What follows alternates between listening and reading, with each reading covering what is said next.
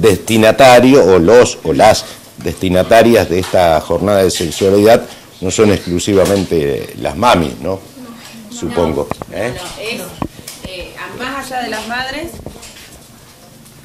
es abierta para toda la comunidad, tanto docentes como chicos que están estudiando, eh, de acompañantes terapéuticos también, que es para capacitación y está bueno que ahora se lo están pidiendo también.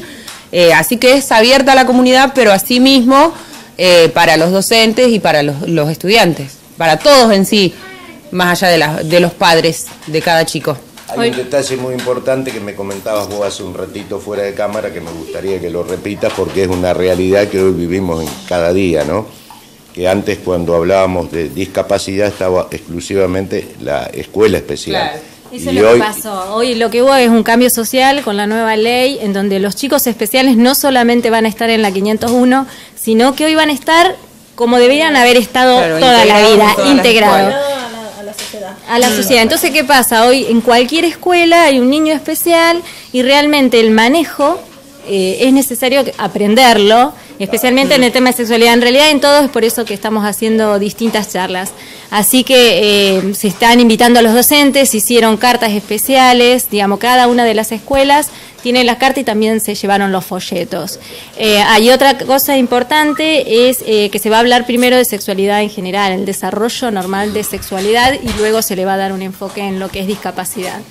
Eh, los disertantes van a ser doctora Lomona Caldana, que es también nuestra madrina, eh, la doctora Langoni Lucía, que es tocoginecóloga, la doctora Vidal Andrea, que es sexóloga, eh, ella también es paya médico, así que próximamente vamos a tener una charla también al respecto.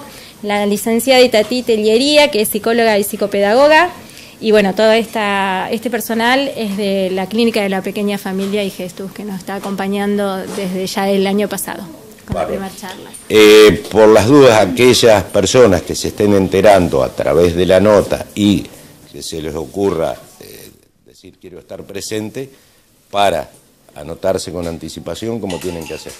A nuestro mail. Pueden hacer vía mail eh, al mail nuestro que es mamisespecialesalto.hotmail.com y también en la página hay un, un, link donde ingresan directamente y se pueden inscribir.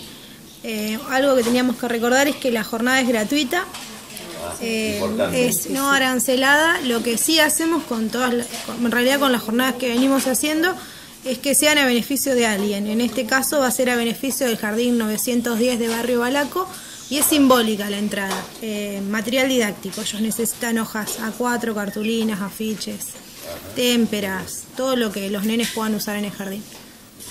Muy bueno el gesto realmente, porque más allá de la actividad propiamente dicha, ustedes están haciendo un gesto solidario aquí, en este caso. Así que me parece bárbaro, doblemente este, reconocido. ¿eh?